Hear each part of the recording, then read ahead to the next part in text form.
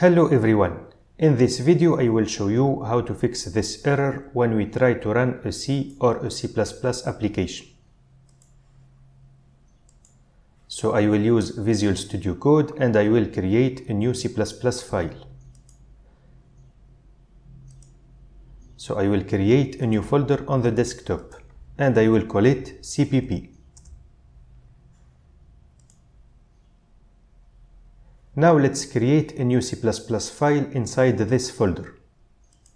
I will call it program.cpp.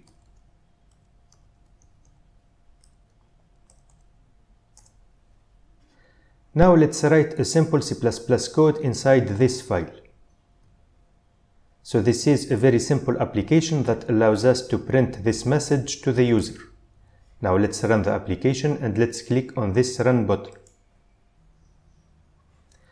But here we have this error.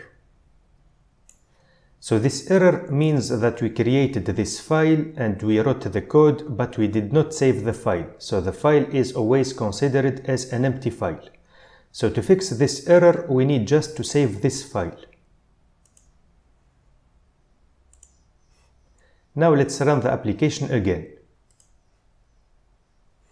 And this time we have this output and we don't have the error anymore.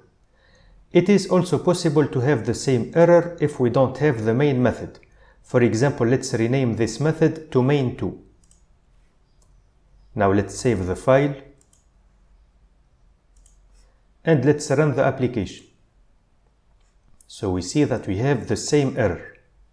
This means that we don't have the main method inside this file. So to fix it, we have just to rename this method to main. So let's remove number 2. Let's save the file and let's run the application again. And we can see that we have the output and we don't have the error anymore.